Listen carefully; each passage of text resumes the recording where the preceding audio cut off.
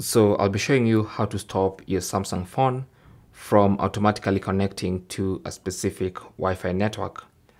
So the first thing you have to do is go ahead and connect to that Wi-Fi network. So I'm just going to turn on Wi-Fi and make sure it connects to that Wi-Fi network.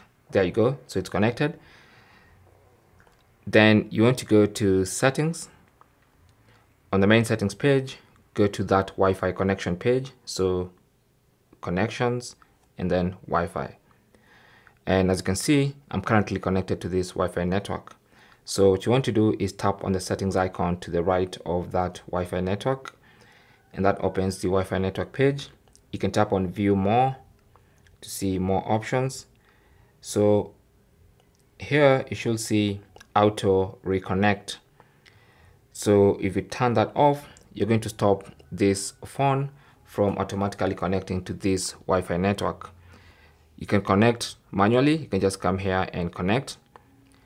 But if you leave the place, or maybe let's let's try and uh, put it in airplane mode first, and then remove airplane mode and see if it automatically connects. It doesn't. It actually connects to this other network because as it says here, auto reconnect is turned off. So that's basically how to stop your Samsung phone from automatically connecting to a specific Wi-Fi network. Thanks for watching.